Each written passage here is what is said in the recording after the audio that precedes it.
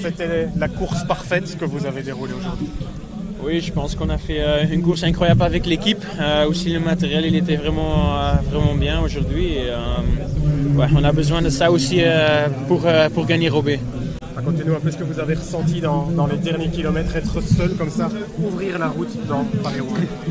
Oui, j'ai plus pouvoir savourer que, que, la semaine passée. La semaine passée, passée j'étais vraiment à, mon limite à la fin, mais aujourd'hui j'avais des jambes incroyables, donc je pouvais bien savourer. Euh, c'est quand même spécial de, rentrer ici seul dans ce maillot.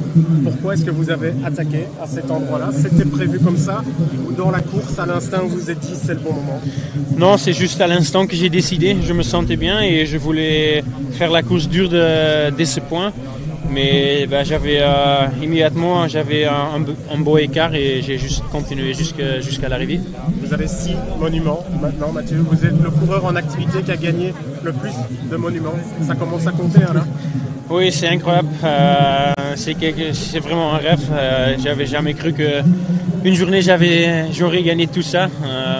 donc c'est juste incroyable. J'ai une dernière question, Mathieu.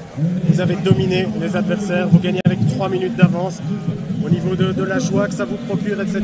Elle a le même goût cette victoire parce que vous dominez tellement vos adversaires. Oui, encore plus. Non, j'ai vraiment, c'est incroyable, mais j'essaie vraiment de savourer. Et, euh, aussi avec l'équipe, c'est quand même quelque chose de spécial qu'on a fait encore de nouveau aujourd'hui.